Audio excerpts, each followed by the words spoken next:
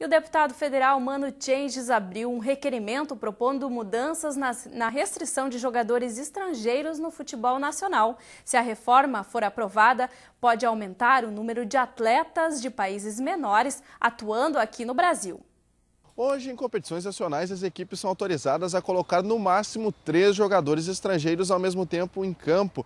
Mas um projeto de lei do deputado federal Mano Changes quer mudar essa história, já que na Europa não existe limite mínimo de jogadores. Viemos ao campus 2 da Fevale para saber a opinião dos alunos sobre esse assunto.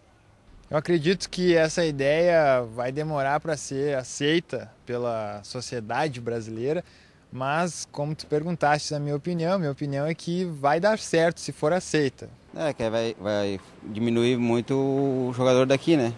vai vir muito jogador de fora, vai diminuir os jogadores aqui para jogar, eh, mas menos vaga, né? O jogador brasileiro. Ah, eu acho que é válido, porque na Europa até porque tem um limite maior. Acho que podia abrir, até porque aqui no sul o pessoal gosta bastante de Argentina e pessoal daqui.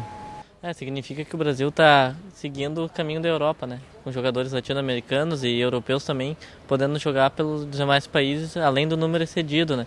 Eu acho interessante porque o mercado sul-americano é mais rentável aos clubes, então eles podem contratar maior, mais jogadores, melhores jogadores, uh, que vão acrescentar ao futebol brasileiro também. Vai rolar um intercâmbio bem interessante, acho bem bacana.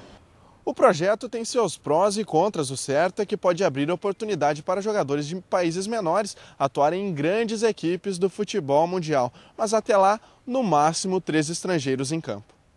E uma reunião entre a Confederação Sul-Americana de Futebol e a Federação Gaúcha deve ser realizada nos próximos meses para decidir a aprovação ou não do projeto.